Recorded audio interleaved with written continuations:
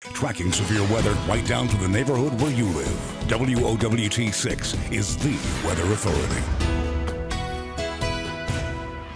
I'm Chief Meteorologist Mike LaPoint through our Buyer forecast to help you plan your day. Partly to mostly cloudy skies at 6. Tuesday morning for the rush, we may see a few scattered flurries here and there across parts of our region.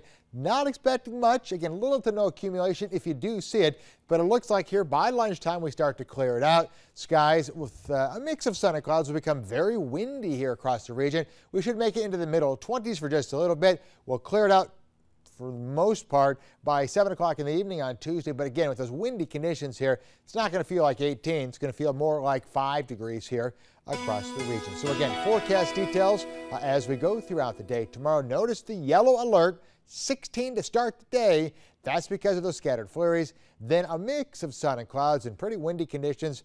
About 25 degrees will be the high temperature. And then as we take a look at Wednesday, even colder weather on the way. We start at 3 up to 17. That's it for the high. 5 to start today on Thursday, 21. Some scattered flurries late in the day, and again, some flurries possible early on Friday. So we'll watch that closely. 36. And right now, the weekend looks fairly dry at this time. Computer models are still not agreeing. Some of us may see a little snow, but otherwise, it'll be mainly cloudy right now.